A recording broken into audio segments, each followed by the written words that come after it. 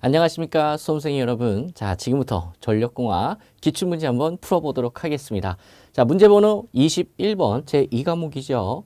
자 150kV 단상변압기 세대를 델타 델타 결선으로 사용하다가 한 대가 고장이 났다. 여러분 델타 델타 결선의 장점이 뭐예요? 그쵸? 한 대 고장 시 연속해서 VV 결선에서 사용할 수 있다라는 거 아주 기본 중에 기본기입니다. 그래서 이런 문제는 시험에서 꼭 맞춰주세요라고 내는 문제겠죠.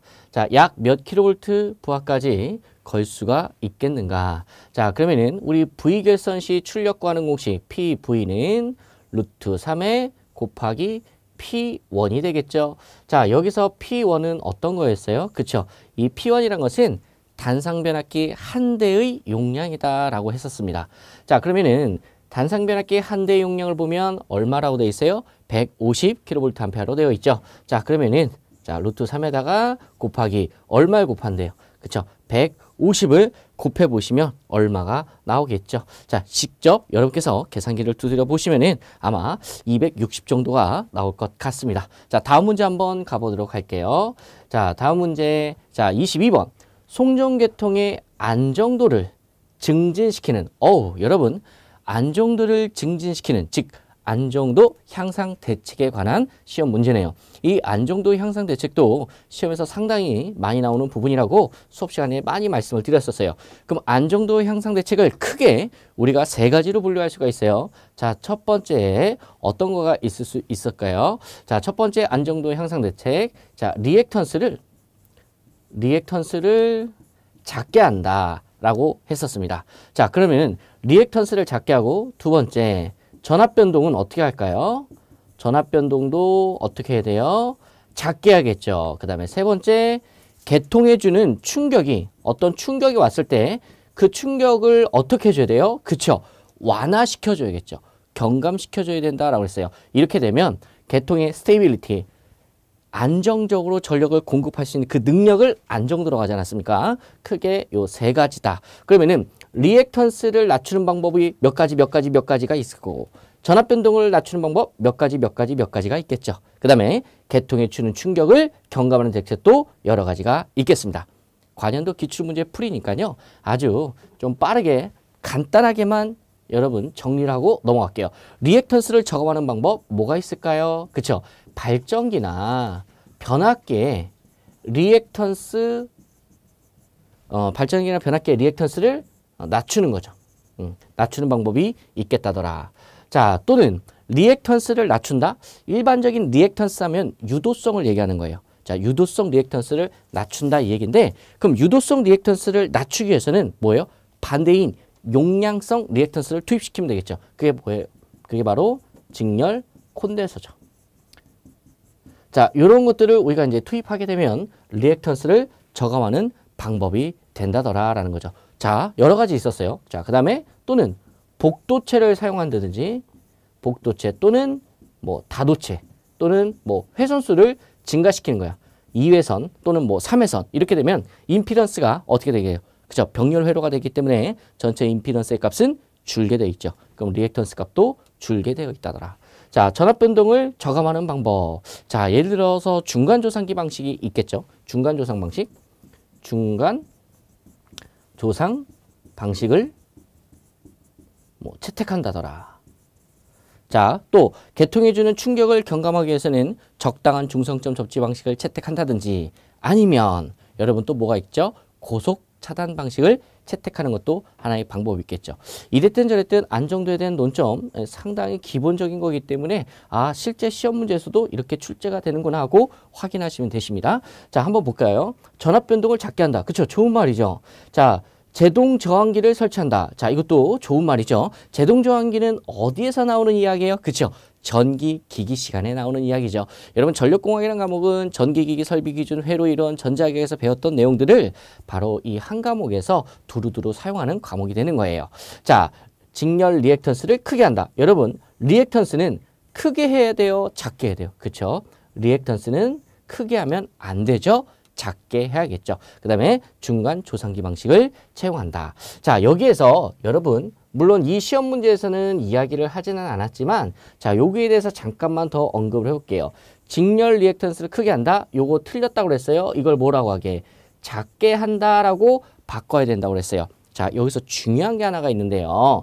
여러분 시험에서 혹시 안정도란 말이 나왔어요. 그럼 단락비란 말이 나오죠. 단락비. 그럼 단락비는 안정도를 증진시키기 위해서 큰 게 좋냐 작은 게 좋냐야. 그렇죠. 단락비는 클수록 여러분 안정도가 좋아지는 거겠죠. 그럼 여러분 이 단락비는 또 어디서 배워요? 그렇죠. 전기기기 시간에 엄청나게 배우죠. 그 단락비가 전력공학에서는 바로 계통의 안정도를 여러분 증진시키는 방법이 된다. 즉 단락비가 크게 만들면 된다. 단락비가 쉽게 말하면 임피던스의 역수라고 생각하시면 돼요. 그럼 단락비가 크다는 것은 리액턴스는 작다 이 얘기나 마찬가지죠. 자 그래서 22번 한번 살펴보았습니다. 자 그 다음에 23번 보도록 할게요. 자 연간 전력량 블라블라 이거 연간 최대 전력이 얼마 얼마인 W인 연부하율을 구하라. 자 그러면은 우리 연부하율 아 여러분 연부하율의 키워드는 뭐예요? 그렇죠? 자 연과 그 다음에 부하율이 되겠죠. 여기서 말하는 연은 뭐예요? 바로 1년을 얘기하는 거죠. 자, 1년은 여러분 몇 시간입니까? 8,760시간이죠. 자, 그럼 부하율은 우리가 어떻게 구했었죠? 자, 자, 부하율은 이렇게 구했었죠.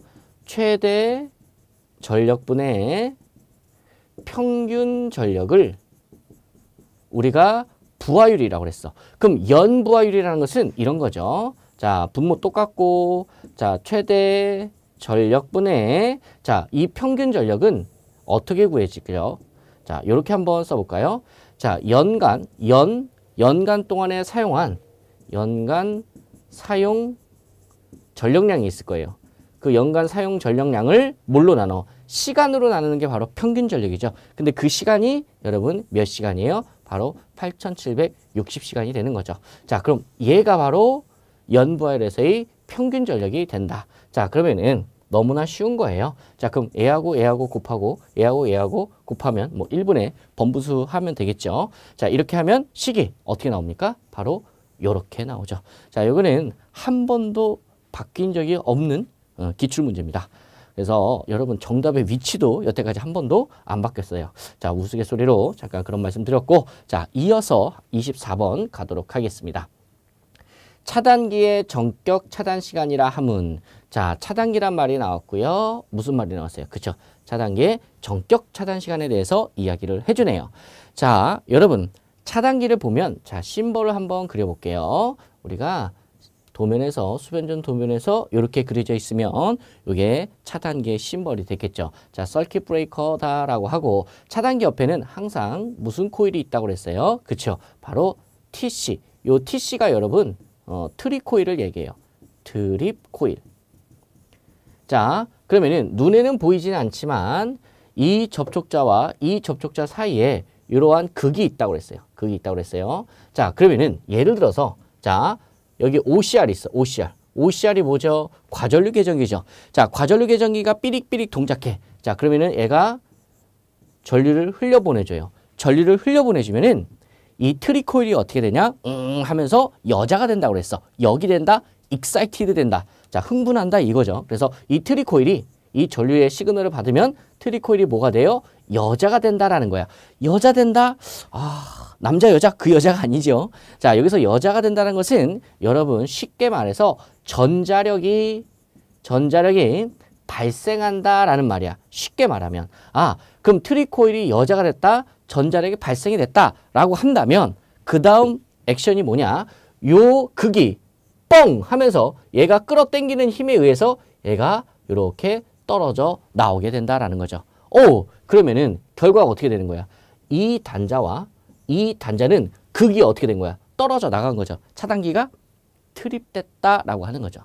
자, 근데 아직 안 끝났어요. 트립되면서 그냥 안 끝나. 왠지 아쉬워서 그냥 안 끝나는 거야. 여기서 애가 떨어지는 순간에 지지지직 지지직 하면서 뭐가 생겨? 그렇죠. 아크가 생기지 않습니까? 이 아크를 어떻게 해야 돼요?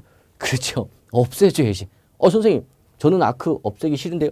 아 그럼 없애지 마세요. 차단기 맛이 가니까. 그죠? 아크를 분명히 없애줘야 된다라는 거야. 그럼 이 아크를 소호시켜줘야 된다라는 거죠. 우리가 불을 끄는 걸 뭐라고 그래? 소화라고 하죠. 불꽃을 끄는 걸 뭐라고 그래? 소호라고 하는 겁니다. 그래서 아크를 없애준다, 아크를 소호시킨다 이렇게 우리가 표현을 하는 거예요. 그럼 아크를 소호시키는 데까지 걸리는 시간이 있겠죠. 그래서 아크까지 완전히 없애졌어. 그러면은 전기적으로 극이 완전히 분리돼서 완전히 트립됐다 이렇게 얘기하는 겁니다.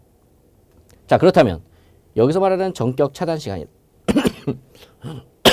차단기의 정격 차단 시간이란 어떤 거냐 이거죠. 바로 이 트리코일이 여자되는 순간부터 이 아크가 소호돼서 완전히 전기적으로 끊어진 때까지 걸리는 시간을 차단계의 정격 차단 시간이라 한다. 자, 그래서 3사이클, 5사이클, 8사이클 요 정도가 차단기 정격 차단 시간에 여러분 기본 정격이다라고 얘기를 했어요. 예전에는 요 사이클 어, 정격이 아닌 것을 골라라 이런 시험 문제도 나온 적이 있어요. 그래서 3, 5, 8, 10. 자, 그럼 보기가 하나, 둘, 셋, 넷. 자, 정답은 뭐예요? 그쵸? 10이다. 요거 체크하시면 정답이었죠. 뭐 여담으로 말씀을 드렸고요. 일단 정답을 한번 찾아보면 자, 어디 있을까요? 바로 여기 있네요. 3번. 트리코일이 여자들부터 어, 소호까지의 시간. 여기서 소호까지의 시간인데 아크 소호 시간이란 뜻이겠죠. 자, 이해 가십니까? 자, 이렇게 해서 24번 설명해 드렸고요. 자, 이어서 25번 갈게요.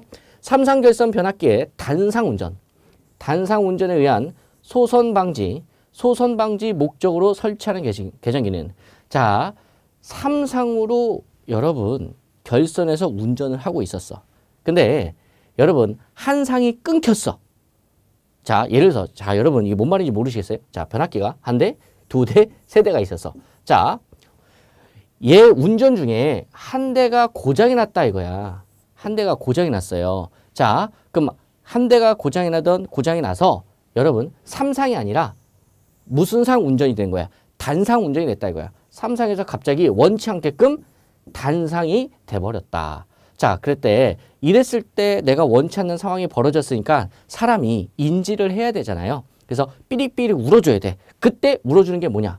자, 상이 하나 떨어져 나갔을 거 아니에요? 그러니까 당연히 뭐라고? 그죠? 결상계전기. 아, 상이 탈락이 돼서 어떤 고장이 생겨서 단상 운전이 됐을 때 동작하는 계전기. 그래서 결상계전기. 자, 이렇게 외우시면 되겠죠. 자, 과전압 계전기는 과전압이 떴을 때 발생하는 계전기고 지락 계전기는 그쵸 뭐예요? 지락 사고 시에 발생 어, 삐릭삐릭 울어대는 계전기가 지락 계전기겠죠. 쉽게 쉽게 설명을 드리는 거예요. 여러분 어려운 공부를요 어렵게 접근하시면 한도 끝도 없이 어렵습니다. 그래서 조금 어려울 때일수록 좀 더 쉽게 쉽게 여러분 접하셔서 넘어가시는 게 기술입니다. 자 다음 문제 가도록 하겠습니다. 자 인터록에 대한 설명으로 맞는 것은 자 여기 주어가 뭐예요? interlock이네요. 자, 여러분. 자, interlock 하면 전력공학에서 무조건 뭐부터 생각나셔야 돼. 그쵸? 바로 단로기의, 단로기의 예, 조작 순서가 머릿속에 쓱 하고 스쳐 지나가셔야 된다라는 거예요. 자, 단로기는 DS죠. disconnecting switch. 단로기는 누구하고 자꾸 연결돼서 시험에 많이 나와요? circuit breaker, 차단기하고 어, 연관지어서 시험 문제에 많이 나오죠. 자, 그러면 단로기의 조작 순서를 한번 이야기를 해보도록 할게요. 자, 여기 전원측이 있고요. 자, 전원측이 있고, 자, 여기 DS, 달로기, 뭐 DS1이라고 할까요? 자, 여기 차단기가 있어요. 서킷 브레이커가 있고, 자, 여기에 또 달로기, 뭐 DS2라고 할게요. 그리고 이쪽이, 자, 부하라고 하겠습니다. 자, 부하라고 했을 때, 자, 기본적인 원리, 어, 내용을 여러분께서 이해를 하고 계셔야 인터록도 이해가 가시는 겁니다. 자, 고장이 났어. 자, 여기서 고장이 나서 보수 점검을 하려고 그래요. 자, 그러면은 보수 점검 시. 자, 보수 점검을 하려고 합니다. 그럼 제일 먼저 뭐부터 해야 돼요? 그쵸? 안전하게 차단기를 오프 시켜야 되죠. 차단기를 오프 시키고, 그 다음에 뭘 해야 돼? 그쵸? 달로기를 오프 시켜야죠. 그럼 DS2를 오프 시키는데, 아니, 선생님, 여기 얘도 얘 먼저 오프시키면 안 되나요? 아니요. 원칙이 있다고 그랬어요. 자, 바로 부하 측에서 가까운 달러기부터 오프시킨다. 조작하는 순서가. 자, 그 다음에 DS1을 자, 오프시키면 된다더라. 이런 얘기였죠. 자, 그럼 보수 점검이 잘 끝났어. 자, 그러면은 선로를 살려야죠. 그래서 뭐에 재투입을 해야 된다. 자, 재투입 시에는 여러분 어떻게 돼요? 순서가 반대로 되죠. 달로기를 먼저 닫고 마지막에 차단기를 닫아야겠죠. 자, 그러면은 자, DS2를 자, 투입할 때도 마찬가지예요. 얘부터 하는 거예요. 자, DS2를 온시키고 그다음에 DS1을 온시키고 마지막으로 차단기를 뭐 한다? 온시킨다 이거죠. 자, 그래서 여러분 제가 수업 시간에 상당히 쉽게 기억하시라고 이런 식으로 설명을 좀 많이 드렸어요. 어떤 거냐면 차단기는 유지보수의 시작과 끝이다 이렇게 설명을 많이 드렸었다. 자, 그래서 항상 유지보수 할 때 차단기 먼저 끄고 그리고 맨 마지막에 차단기를 투입한다. 요게 달로기의 조작 순서죠. 달로기의 조작 순서. 2차 실기 시험에서도 많이 나오는데 1차 필기 시험에서도 많이 나와요. 근데 어이 선생님 인터록 설명하다가 왜 갑자기 이렇게 선생님 어, 내용을 많이 설명해 주십니까? 라고 물어보실 수도 있는데 자 만약에 내가 이 순서가 잘못됐다고 해봐. 자 차단기를 예를 들어서 차단기를 끄고 나서 그 다음에 달로기를 오프시켜야 되는데 이 순서가 뒤집혀서 달로기를 먼저 열고 차단기를 열었어. 이게 순서가 뒤집히면 어 바로 인명피해가 발생합니다. 그럼 위험하겠어요? 안 위험하겠어요? 위험하죠. 아 여러분 여러분 뭐 하다도 깜빡깜빡하지 않습니까? 내가 깜빡하고 어 순서가 조작 순서가 틀렸다 이거야.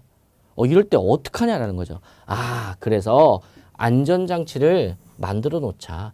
그 안전장치에 해당하는 게 바로 뭐다? 인터럭이다라는 거죠. 자 그러면은 자 차단기가 열려 있어야 자 열려 있다 이 말은 차단기가 오프되어 있어야 이 말이죠. 전원이 죽어 있어야 이 얘기예요. 달루기를 닫을 수 있다.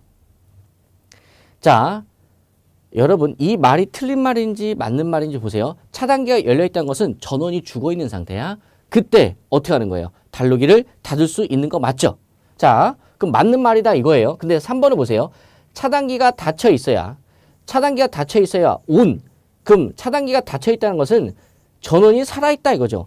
전원이 살아있는 상태에서 달록이 투입하면 어떻게 돼요? 어유 여러분 큰일 나죠. 그래서 정답은 뭐가 된다? 맞는 것이니까 2번이 되겠다라는 겁니다. 다른 말은 틀렸고요. 자, 그러면은 우리 다음 문제 한번 가도록 하겠습니다. 자, 우리가 문제 풀 거는 예, 27번이 되겠습니다. 자, 27번 볼게요. 음, 그림과 같이 그림과 같이 22kV 삼상 삼선식 전솔로의 P점에서 어이구 단락이 발생했대요. 단락 사고가 났다고 합니다. 자, 이때 삼상 단락 전류는 몇 암페어인가 물어봤어요. 어우, 고맙게도 자, 전압이 적혀져 있고요. 용량이 적혀져 있네요. 자, 그리고 주어진 조건에서 또 뭐 도졌냐? 퍼센트 리액턴스는 8%다라고 하고 저항부는 무시한다. 그럼 임피던스는 뭐만 있는 거야? 리액턴스만 있는 거죠. 자, 문제 한번 풀어볼게요. 자, 그럼 퍼센트 임피던스 또는 퍼센트 리액턴스 줬으니까 단락전류 IS는 어떻게 구해요? 퍼센트 임피던스 분의 100에다가 곱하기 정격 전류 IN이죠. 자, 한번 구해볼게요. 자, 퍼센트 임피던스는 하나밖에 없죠? 8%. 8 그대로 넣으시면 돼. 8분의 100에다가 곱하기 자, 여기 IN, IN이 뭐예요? 자, 전격 전류죠. 자, 전격 전류. 자, 근데 계통이 지금 3상이라고 그랬죠. 그럼 3상에서 IN은 어떻게 겁니까? 루트 3 곱하기 V분의 PA다라는 거죠. 자, 여기서 P는 뭐예요? 얘는 바로 어, 용량을 얘기하는 거죠. 전원 용량, 계통의 용량. 자, 요 V는 뭐예요? 음, 전압, 고장, 직전의 전압을 얘기하는 거야. 성간전압. 고장 직전의 성간전압을 얘기하는 거예요. 자, 그러면은 대입만 해주면 되겠네요. 자, 루트 3에 곱하기 전압. 여기 써 있죠? 얼마라고? 22kV라고. 22kV. 자, 용량은 얼마예요? 아, 여기 2만이라고 주어졌습니다. 자, 이렇게 여러분께서 계산하셔서 나오시면 이게 얼마가 나오냐면요. 6,561이 나온답니다. 6,561 해서 정답은 1번으로 하시면 되시겠어요. 자, 근데 만약에 시험에서요. 삼상이 아니라 만약에 단상이었다면요. 어이구, 노란색 안 보이시죠?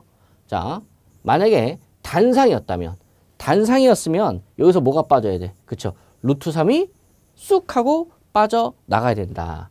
요 루트 3이 없어져야 돼요. 아시겠죠? 이건 뭐야? 삼상일 때고 단상일 때는 얘가 빠져야 된다 이거예요. V분의 P로 계산하시면 되십니다. 자, 그 다음에 자, 다음 문제 한번 보도록 할게요. 자, 28번. 전력계통에서 내부 이상 전압의 크기가 가장 큰 경우는 자, 여기서 무슨 전압? 내부 이상 전압. 우리가 이상 전압에는 종류가 두 가지가 있다고 그랬어. 내부 이상 전압과 외부 이상 전압. 그럼 외부 이상 전압은 자, 직경례와 직경례, 그 다음에 유도례. 자, 직경례는 힘이 센 거, 유도례는 좀 힘이 약한 거. 자, 그래서 직경례와 유도례인데 제가 수업 시간에 어떻게 설명드려서 례로 끝나는 건 무조건 뭐야? 외부 이상 전압이다 이거죠. 그죠? 그러면 나머지는 다 몽땅 뭐야? 얘 빼고 나머지는 다 예, 내부 이상 전압이다. 일선 지락 사고 시 건전 상의 전이 상승 이런 것도 다 내부 이상 전압이고요. 페란티 현상도 내부 이상 전압이고요. 자, 중성점 잔류 전압도 뭐예요? 다 내부 이상 전압에 속한다 이거예요. 자, 그런 내부 이상 전압에서 크기가 가장 큰 경우는 자, 지금 얘하고 얘가 비교하는 게 아니라 지금 얘가 종류가 여러 가지 있잖아요. 그 중에서 가장 큰 여러분 이상전압이 뭐냐 이거예요. 그 중에서 이 내부 이상전압에서 가장 큰 게 뭐라고 그랬어요? 그죠? 바로 개폐, 개폐, 그죠? 개폐 이상전압이 가장 높다라고 그랬어. 내부 이상전압 중에서는. 그럼 개폐 이상전압은 자, 게로시와 페로시에 뜨는 서지 이것을 바로 개폐 이상전압이라고 했어요. 그래서 제가 어, 수업 시간에 이렇게 얘기했어요. 그럼 게로시가 있을 거야. 게로시. 그 다음에 페로시가 있을 거예요. 페로. 선로를 닫을 때 그러면 열 때 또는 닫을 때 언제 더 높은 이상전압을 발생한다고 했어요? 바로 게루시에가 더 높은 이상전압을 발생하고 자 두 번째 자 부하가 없을 때 바로 무부하시죠. 무부하시. 그 다음에 여러분 부하가 있을 때 부하시라고 할게요. 부하가 있을 때. 자, 그럼 언제 더 높은 이상전압이 발생한다고 그랬어요?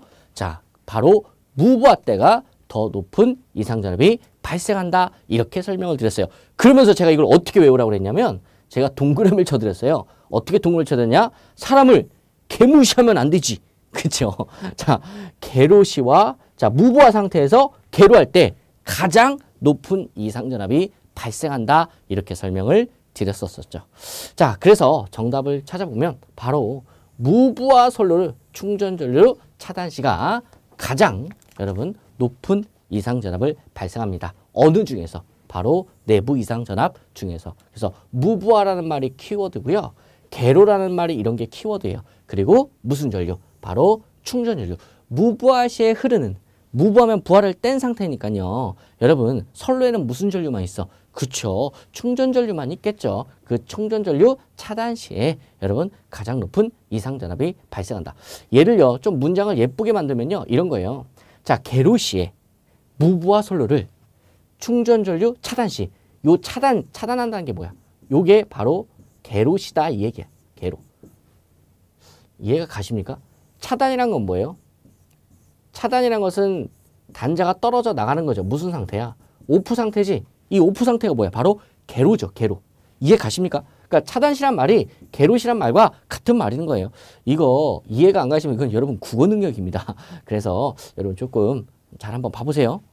차단한다는 말 뭐야? 극을 연다 이 얘기죠. 그래서 게로는 말과 차단 말이 같은 거다. 그래서 차단, 게로, 그 다음에 무바. 어, 다 들어가 있네. 정답이다. 이런 이야기죠. 자, 29번 가겠습니다. 자, 29번 보시면 화력발전소에서 뭐예요? 제열기의 목적은 하고 물어봤네요. 자, 지금 제열기의 목적을 물어봤는데 어, 여러분 제열기는 화력발전소에서 아주 중요한 역할을 하고 있죠. 제열기의 목적 어떤 거예요? 그죠? 증기를 가열한다. 그래서 정답은 4번 증기를 가열한다로 가시면 되시겠습니다. 자 그러면은 어, 공기를 예열하거나 뭐 급수를 뭐 예열하는 거 이런 것들은 나중에 여러분 화력발전소에서 또 여, 어, 이러한 기기들에 대한 역할이 나와요. 그때 더 설명을 보충해서 드리도록 할게요. 자 30번 갈게요. 송전선로에 각 상전압이 평형이 되어 있을 때 삼상 1회선 송전선의 작용 정전 용량 아 작용 정전 용량 삼상에서 자, 그럼 정전 용량 구하는 공식 공식 찾으라는 거네요. 어, 이 너무 썰렁하네요. 자, 정답은 뭐예요? 그쵸? 이거 1번이네요. 로그 10의 R분의 D분의 0.02423. 자, 조심해야지. 여기 0이 하나 더 있다라는 거. 이거 0 없죠? 그래서 틀렸다 이 얘기죠. 좀 치사하게 냈죠, 여러분. 근데 얘는 뭐예요? 어, 0은 있어. 근데 여기 제, 제곱이 붙어 있죠? 그래서 틀린 거고. 자, 여기는 0도, 0도 없고 제곱도 있고. 그래서 틀린 거고. 정답은 1번이 되겠습니다. 자, 여기서, 음, 여러분들께서 공부를 하실 때 지금 정전 용량 구하는 공식 딱 이거 여러분 생각나셨나요? 그러면은 예를 들어서 정전 용량 C는 자 로그 10에 R분의 D에 0.02413 마이크로패럿 per 킬로미터다 외우셨잖아. 이렇게. 근데 요건 요대로 외우시고 여러분 얘하고 같이 세트로 함께 공부할 게 뭐 있어요? 그쵸? 단상일 때와 삼상일 때. 자, 대지 정전 용량과 선간 정전 용량을 이용해서 우리가 푸는 여러분 정전 용량 구하는 공식이겠죠. 자, 단상일 경우에 CS 플러스 2CM. 자, 삼상일 경우에 CS 플러스 3CM이다. 이런 공식 기억나십니까? 이런 것도 이 한 문제를 풀 때 얘만 보지 말고 어 얘하고 관련된 중요한 공식도 있었지 하면서 이걸 자꾸 끄집어내서 연상지어서 학습해 주시기를 부탁드립니다. 자, 그 다음에 31번 가도록 하겠습니다. 플리커 경감을 위한 자 플리커 경감하기 위한 여러분 플리커란 게 뭐예요? flick 플리커 여러분 flick 이거 동사죠? F L I 어우 괜히 영어 쓰다가 실수하겠네요. 자 죄송합니다. 자 플리커인데 flick이란 게 뭐예요? 그쵸 깜빡거리다라는 거죠. 그래서 깜빡거리는 현상을 이제 플리커 현상이었는데 이 플리커 현상이 어, 왜 발생하냐라는 거지. 예, 원인이 뭐냐라는 거죠. 왜? 바로 전압 변동이 발생. 전압이 일정치 않고 전압이 변동. 어, 부르르 떤다. 올라갔다가 내려갔다. 전압이 상승했다가 하강했다. 전압이 올라갔다가 전압 강화가 일어났다가 자 이렇게 부르르 떠는 게 바로 전압 변동인데 이러한 전압 변동이 심해질 때 바로 플리커 현상이 발생하는 거다. 그러면은 다시 한번 또 생각해 보자 이거예요. 자, 어 그럼 전압 변동은 왜 일어나는데? 전압 변동은 일어나는 원인이 뭐예요? 전압 변동이 일어나는 원인. 자, 그 이유는 뭐 여러 가지 이유가 있겠죠. 그 여러 가지 이유 중에서 여러분 음, 큰게 바로 임피던스, 임피던스 또는 리액턴스, 임피던스가 클 때 뭐가 발생하는 거야? 전압 변동이 발생하고 자 전압 변동이 일어나면 바로 플리커다 이런 이야기다. 자 근데 이러한 플리커를 경감을 하고 싶대요. 그럼 전력을 공급하는 입장에서 즉 한전 측을 얘기하는 거겠죠. 전력 공급 측의 방안이 아닌 것은 어떤 것인가. 자 그러면은 2번 볼게요. 전용의 변압기로 공급하다. 이거 맞는 말이야. 이게 뭐냐면 음, 여러분 다른 계통하고 예를 들어서 변압기가 있으면 어떤 변압기는 이 변압기는 어떤 부하를 위해서 부하가 있어요. 이 부하에다가만 전력을 공급하고 다른 부하에다가는 전력을 공급하지 않는다 이 얘기야. 그러면은 다른 부하는 이 부하의 영향을 받아요 안 받아요? 안 받죠. 그럼 여기서 계통 얘가 이제 플리커가 많이 발생하게 하는 부하다 이거지. 그럼 플리커 발생 부하와 영향이 있어 없어? 없게 되는 거죠. 즉 얘를 독방에다 가둬둔다 이런 얘기죠. 그러니까 전용의 변압기로 공급한다? 이게 맞는 말이다 이거죠. 플리커가 발생하는 부하가 있어 따로. 그럼 야 너는 전용의 변압기를 너만 써. 그리고 네가 너 때문에 다른 사람들한테 플리커가 발생하지 않게끔 해줄게. 이런 이야기죠. 이해 가십니까? 자, 그 다음에 단독 고, 공급 계통을 구성한다. 이것도 이제 비슷한 말이 되는 거고요. 단락 용량이 큰 계통에서 공급한다. 자, 이것도 맞는 말이야. 오, 선생님 이게 왜 맞는 말이야? 여러분, 제가 증명을 해드릴게요. 자, 완전 간단하게 증명할 수 있는데 단락 용량이 크다라는 얘기는 여러분 단락 용량은 뭐예요?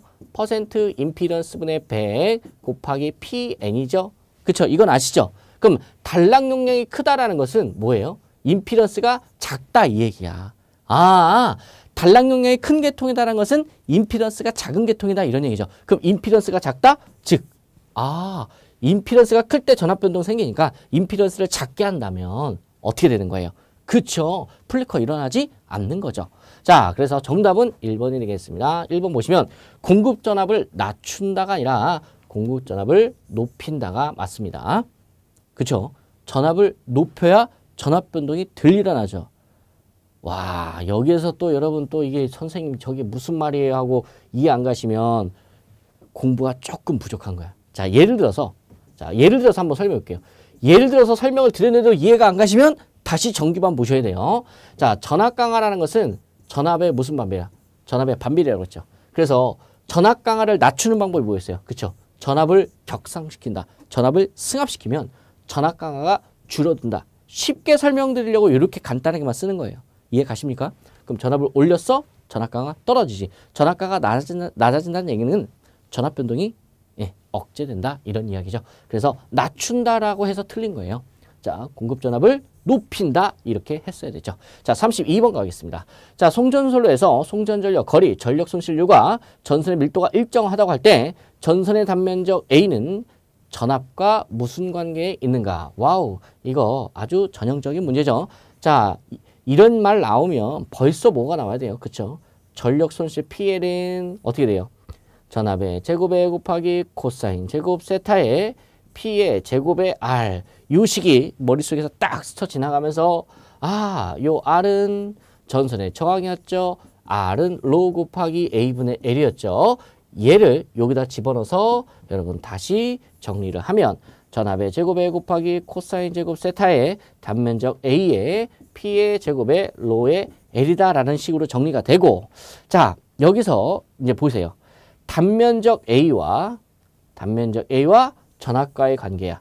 A하고 N은 무슨 관계야? 단면적 A는 전압의 제곱에 반비례하는 관계가 정답이 되는 거죠. 자, 여기서 또 이제 황당한 질문 날라옵니다. 이제 동영상 딱 촬영하고 나서 이제 막 질문들 하세요. 선생님 질문 있어요. 아, 제가 이 식은 외웠었는데 얘하고 얘가 어떻게 이렇게 됩니까? 같은 곱셈으로 연결되어 있는데 비례 아닙니까? 이게 어떻게 반비례입니까? 이런 질문 하시는 분들이 간혹 계세요. 자, 그분들은 자, 이걸 한번 바라보세요. V는 IR, A하고 A하고 곱셈으로 연결되어 있죠. 좌변과 우변, 같은 우변에 A하고 A하고 곱셈으로 연결되어 있죠. 이 둘의 관계가 어때요? 얘가 올라갈 때 얘가 내려가죠. 비례야 반비례야? 반비례죠. 그래서 같은 변에 자 좌변과 우변이 있을 때 같은 변에 곱셈으로 연결된 것끼리는 무슨 관계야? 반비례 관계입니다. 그래서 전화 제곱에 비례한다. 조. 오, 요거 찾으면 되겠죠. 요렇게 하면 되겠습니다. 만약에 요렇 요게 정답이 되려면 뭐라고요? 전압의 제곱에 여기다 뭘 써야 돼? 반자를 써주든지 아니면 전압의 제곱분의 1에 비례한다. 이렇게 쓰든지. 자, 그래서 정답은 일단 이렇게 되는 겁니다. 자, 32번까지 풀어봤고요. 자, 33번 가도록 하겠습니다. 자, 동기조상기에 관한 설명으로 틀린 것은 여러분, 이 동기조상기는 어디에서 나와요? 그쵸? 바로 전기기기 시간에 나오죠. 자, 전기기기에서 여러분 어떤 내용이에요? 동기기 배우셨죠? 그죠? 그 동기기에서 나오지 않습니까? 동기조선기. 자, 동기조선기에 관한 설명으로 틀린 것은 자, 동기전동기의 V 특성을 이용하는 설비다. 여러분 막 이런 V 곡선 많이 보시지 않았습니까? 이렇게 돼가지고 뭐 이런 식으로 이런 식으로 이런 식으로 찍찍찍찍찍찍 자 그래서 과여자 뭐 부정여자 이런 식으로 곡선을 많이 봤을 거예요. 그 V 특성 이런 얘기하는 거고요. 자 동기전동기를 부족여자로 어 하여 컨덕터 왜 갑자기 컨덕터가 나왔을까요? 자, 세 번째 볼까요? 동기전동기를 과여자로 하면 콘덴서로 사용하는 거 맞죠? 아, 그러면은 여러분 이건 완전 기기 시간인데 여러분 부족여자는 컨덕터가 아니죠. 뭐예요? 리액터죠. 리액터. 이게 L이고 콘덴서는 바로 C고요. 그래서 L과 C를 우리가 사용할 수가 있겠죠. 자, 그 다음에 네 번째. 송전계통의 전압을 일정하게 유지하기 위한 예, 설비다. 예, 맞습니다. 그래서 동기조상기를 사용해서 어, 송계통의 전압을 일정하게 유지해줘. 그래서 이런 설비를 뭐라 그래? 바로 조상 설비라고 하는 거죠. 그럼 조상 설비의 대표적인 게 뭐가 있어요? 동기조상기, 콘덴서, 리액터. 자, 요 세 가지가 대표적인 조상 설비고 이 각각의 조상 설비의 종류에 따른 특성을 암기하고 계셔야 되는 것도 여러분 잊지 마시기를 바랍니다. 자, 34번을 보도록 하겠습니다. 자, 비등수형 원자로다. 여러분, 비등수형 원자로 뭐예요? 그쵸? BWR이다라고 설명을 드렸었어요. 자, 여러분, 제가 이제 비등수형 원자로 여러분 정규반에서 어떤 설명을 드렸었냐면 자, 한번 사이클 한번 그려볼게요. 자, 원자로가 있죠. 원자로가 있고, 자, 요 다시 그려볼게요. 자, 요쯤에다가, 자, 원자로가 있어요. 자, 원자로에서 막 핵분열 일어나요. 반응 일어나요. 엄청난 뜨거운 에너지가 오겠죠. 증기가 옵니다. 그 증기가 다시 한번 대표져요. 그럼 과열기를 거쳐요. 자, 과열기에서 나온 증기가 누굴 때려요? 터빈을 때리죠. 터빈에서 나온 증기는 다시 복수기를 거쳐요. 자, 복수를 거쳐서 다시 누구한테 와요? 받쳐. 급수 펌프로 가죠. 자, 그럼 급수 펌프에서 나와서 다시 예, 어디로 가요? 원자로로 가죠. 마치 이렇게 아주 간단하게 제가 BWR에 대해서 그랬는데 어, 기력발전소의 랭킹 사이클하고 비슷하죠. 원자로 대신에 보일러가 들어가면 이건 기력발전소의 랭킹 사이클이 되는 겁니다. 그래서 보일러 대신에 원자로가 있는 게 바로 원자력 발전소겠죠. 자, 근데 여러분 지금 보시면 아시겠지만 이게 지금 보일러가 아니잖아. 원자로잖아. 그럼 이 원자로에서는 뭐가 일어나요? 연쇄 반응이 일어나죠. 연쇄 반응. 혹은 핵 분열 반응. 그럼 핵 분열 반응은 핵 분열이 일어나면서 뭐가 나와요? 핵, 어우, 그쵸. 핵에 관련한 방사능이 나오죠. 그럼 그런 방사능, 아주 안 좋은 것들이 여러분, 이 길을 따라서, 따라서, 따라서, 따라서 외부로 유출이 될 수가 있겠죠. 그럼 좋은 거예요, 안 좋은 거예요? 그쵸. 상당히 위험하죠. 직접적으로 에너지를 사용하는 건 좋지만은 여러분, 이러한 방사능 물질이나 아주 안 좋은 것들이 타고 넘어갈 수 있다. 이런 이야기야. 자, 요게 이제 장점이자 이제 단점이 될 텐데 단점적인 측면으로 봐서는 안 좋다라는 거죠. 자, 그래서 어, 이런 거 말고 좀 더 안정적인 거 없을까라고 한 게 바로 이렇게 이렇게 이렇게 여기 이제 원자로가 있죠. 원자로가 있고 자, 요게 이렇게 이렇게 이렇게 만드는 거지. 자, 기타 사이클이 있다고 하고요. 자, 요게 바로 쉽게 말해서 요 부분에 해당하는 게 바로 열 교환기야. 열 교환기. 이게 무슨 말이냐면 이 원자력 발전에서 이 원자로에서 나온 에너지가 자, 이렇게 이 여기는 물을 데핀다고 해 봐요. 그럼 이 코일에서 이를 코일이라고 한다면 자, 여기서 뜨거워진 게 뜨거워졌으면 얘도 어떻게 돼? 떨어져 있지만 간접적으로 데펴지겠죠. 이해 가십니까? 자, 여기 파이프 안에 아주 뜨거운 액체나 기체가 흐른다고 해봐요. 그럼 여기서도 이 안에 매질이 있다고 치고 그럼 얘가 간접적으로 데펴질 거 아니야. 이렇게 간접적으로 데피는 방식 요게 PWR이죠. 그래서 PWR 원자로에서는 여러분 뭐예요? 이러한 열 교환기가 필요 있는 거고 대신에 좀 전에 그랬던 여러분 BWR 비등수형 원자로에서는 이러한 열 교환기가 필요 있다 없다? 필요 없다더라. 그래서 정답은 1번이죠. 그래서 장점이자 단점을 다 갖고 있어요. 열교환기가 없으니까 여러분 구성이 어떻게 더 간단하지. 가격이 더 저렴할 수도 있겠죠. 자 그런 부분에 대해서는 자 대신에 여러분 방사능 유출의 위험이 있다라든지 이런 것들은 단점이 되겠죠.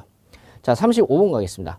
그림과 같은 어, 단거리 배전솔로의 송전단 전압 6600, 역률은 0.9이고 수전단 전압이 6100, 역률이 0.8일 때 회로에 흐르는 전류 I는 자 전류를 구하는 거네요.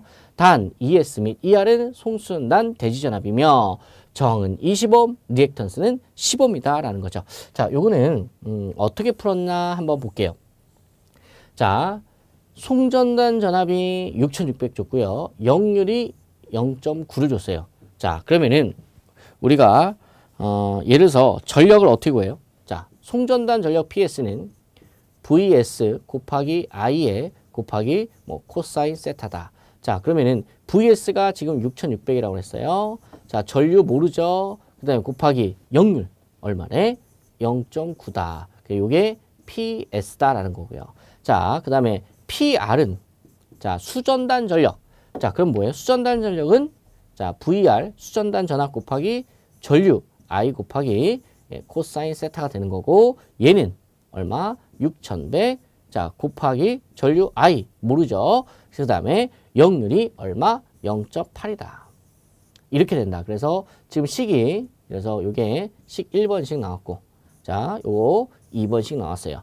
자, 요게 송전단 전력이고 이게 수전단 전력이죠. 그러면은 여러분 전력 손실이라는 건 뭐예요? 전력 손실, 파워로스. 전력 손실은 어떻게 됩니까? 송전단 전력 빼기 수전단 전력. 요게 바로 전력 손실이고 전력 손실을 또 우리가 어떻게 구할 수 있어요? i의 제곱에 r로도 구할 수가 있겠죠. 자, 그럼 한번 해볼까요? 자, ps 요 식이죠. 6600 곱하기 i 곱하기 0.9 빼기 자 빼기 뭐가 될까요? 얘가 되겠죠. 자 6100이죠. 6100 곱하기 i 곱하기 0.8은 이게 얼마다? i의 제곱의 r이다. 자 그러면은 자 요러한 식이 형성이 됐죠. 그래서 i 지워지고 지워지고 지워지고 계산해서 하면 뭘 구할 수 있어? r을 구할 수가 있다더라. 그래서 마지막에 i는 어떻게 구해? r분의 v로 구할 수가 있겠습니다. 그래서 구워지는 값은 얼마냐? 53A가 나온다. 아주 전형적인 문제입니다. 이런 거는 여러분 문제가 나오면요. 그 유형이 바뀌지가 않아요. 그래서 한 두세 번 연습해서 여러분 공식만 알고 있으면 충분히 풀 수 있는 문제라 보여지고요. 자, 36번 볼게요. 자, 피레기의 제한 전압이라는 것은 여러분 피레기의 제한 전압이라는 게 뭐예요? 피레기가 자르고 남은 전압이다. 그럼 피레기가 탁 하고 자르고 남은 전압이라고 했는데 시험에서는 절대 그렇게 자르고 남은 전압이라는 용어를 쓴다 안 쓴다? 안 쓴다라고 했습니다. 바로 이런 말을 쓰죠. 피레기의 동작 중 피레기 단자에 걸리는 단자 전압의 파고 값이다. 이런 말을 쓴다고 했었어요. 자, 그래서 아주 쉬운 문제였고요. 자, 37번 볼게요. 자, 37번 단락 용량이 5000메가볼트 암페어인 모선의 전압이 154 킬로볼트라면 모선의 등가 임피던스는 약 몇 옴인가? 자, 그럼 PS는 어떻게 해요? Z분의 V의 자승. 자, 그러므로 엄청 썰렁한 문제입니다. Z는 PS분의 V의 자승으로 하시면 되고, 자, PS가 얼마? 5천. 그 다음에 154 뭐예요? 154. 154의 보다 예, 제곱이다라는 얘기입니다. 그래서 그렇게 예, 어렵지는 않았던 문제가 보여집니다. 자, 이렇게 해서 계산기 두드리시면 뭐 4.74 이렇게 나온대요. 자, 다음 문제 한번 가보도록 할게요. 자, 38번. 어, 또 필액에 관한 문제네요. 세상에. 같은 회에 필액에 관한 문제가 두 문제나 나왔습니다. 필액이가 그 역할을 잘하기 위해서 구비되어야 할 조건. 자, 속류를 차단하는 능력이 클 것. 당연한 얘기죠. 속류라는 건 뭐예요? 팔로잉 커렌트에서 자, 뇌전류가 대지로 빠져나갔어요. 그럼 뒤따르는 팔로잉, 속류하는 속자가 연속해서 연속하다라는 뜻이잖아요. 연속해서 흐르는 전류가 대지로 빠져나가면 돼, 안 돼? 안 되죠. 정상 전류는 대지로 빠져나가면 안 되잖아요. 정상적인 전류가 대지로 빠져나갈 때 그 전류를 속류라고 하지 않았습니까? 그래서 그 속류를 어떻게 한다? 예, 차단해 줘야 된다. 당연한 얘기고 내구력이 높을 것. 예, 좋은 말이죠. 자, 그 다음에 충격 방전 개시 전압이 낮을 것. 예, 맞는 말이죠. 충격이 왔을 때 방전을 시작하기 시작하는 전압. 그게 이제 충격 방전 개시 전압인데 충격 방전 개시압이 높게 책, 정이 되어 있으면 어지간한 충격이 와도 방전을 안 하겠다 이런 얘기지. 예. 그러니까 충격 방전 개시압은 낮아야 된다 이 얘기고요. 자, 정답은 4번이네요. 자, 제한 전압은 필액의 정격 전압과 같을 것. 자, 이게 말이 됩니까? 어우, 이 말도 안 말도 안 되는 말을 이렇게 적어놨네. 음, 말이 안 되죠. 자, 필액의 제한 전압은 필액의 정격 전압과 같을 수가 없죠. 차원이 다른 거죠. 완전 차원이 다른 걸 비교해 놓은 거야. 피레기의 전격 전압은 뭐예요? 피레기가 속류를 차단할 수 있는 최고의 교류 전압을 예, 여러분 피레기 전격 전압이라고 하는 거고 제한 전압은 뭐예요? 피레기 동작 중 피레기 단자 간에 걸리는 파고값 또는 피레기가 자르고 남은 전압. 그럼 누가 훨씬 더 높겠어? 얘가 훨씬 더 높겠지. 얘하고 얘하고 같으면 음, 말이 안 되죠. 예, 그 다음에 어, 39번 가겠습니다. 자, 거의 다 왔어요. 자, 39번. 자, 저압 배전 솔로에 대한 설명으로 예, 틀린 것을 골라라. 자, 문제를 보시면, 어우, 이거는 항상 나오던 문제가 나왔는데, 자, 저압 배전 솔로래. 밸런서는 단상 2선식에서 필요하다. 땡! 자, 단상 몇 선식이 필요해? 단상 3선식에서 필요하죠. 자, 단상 3선식 왜 그래요? 여러분 단상 3선식은 여러분 어떻게 생겼어요? 자, 여기 이렇게 자, 이렇게 자, 단상 변압기가 있고, 자, 가운데 이렇게 돼 있고, 이렇게, 이렇게 돼 있다고 할게요. 자, 그럼 얘를 우리가 뭐라고 하죠? 중성선이라고 하죠? 중성선. 자, 그럼 부하를 어떻게 걸 수가 있어? 부하를 이렇게 110V 또는 이렇게 또 110V 이런 식으로 부하를 걸 수가 있죠. 어, 여기다 부하 뭐 두 개 걸 수도 있고 뭐 여기다가 이렇게 한 개만 걸 수도 있고 자 이렇게 이종의 전원을 얻을 수가 있죠. 얘하고 얘하고 걸면 몇 볼트? 220 볼트. 근데 만약에 운이 안 좋아서 중선성이 톡 끊어지게 되면 좋겠어요? 안 좋겠어요? 안 좋죠. 전압 불평형 현상들이 발생을 합니다. 오, 그러면은 어 110볼트만 걸려야 되는데 어느 쪽에 저항값에 비례해서 더 많은 뭐 전압이 걸릴 수가 있다. 이런 불평형 현상이 발생하는데 그런 불평형 현상이 발생하는, 발생할 수 있는 게 바로 단상 삼선식이고 그렇기 때문에 이런 데는 평형을 맞춰주는 밸런서가 필요하다 이런 이야기를 했었죠. 자 마지막으로 자 40번 가도록 하겠습니다. 자 40번 보시면 어떤 내용인지 볼게요. 그림과 같은 전력계통에 자 이런 거는 여러분 암기형이 암기. 선생님 이거 증명해 주세요. 여러분 이제 증명하다 이제 머리 머리가 여러분 엄청 아프겠죠. 그래서 이런 거는 여러분 증명하는 것보다는 암기하시는 게 편한데요. 조금만 설명을 드려볼게요. 그림 같은 전력계통에 1호 4kV 송전소에서 고장지락 고장지락 임피더스 ZGF를 통해서 일선 지락 고장이 발생되었을 때 자, 그림을 보면 지금 여기네.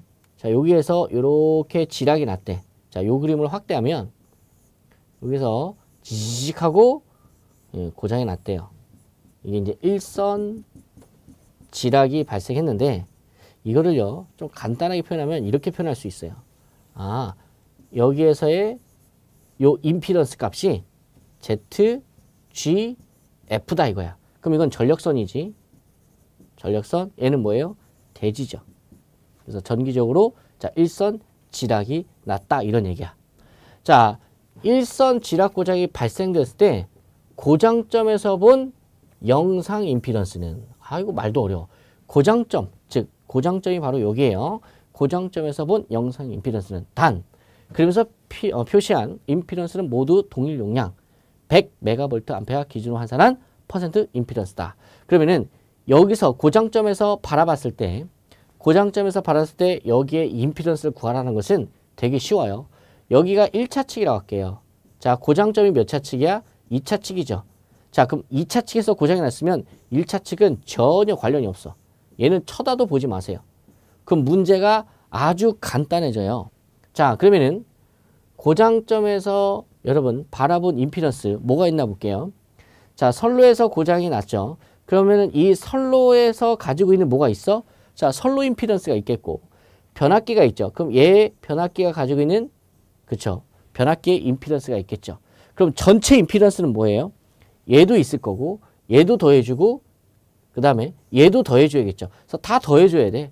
다 더해줘야 되는데 자, 요 고장점에서 요 지락점의 임피던스는 숫자 3을 붙여줘야 돼요. 숫자 뭘 붙여줘?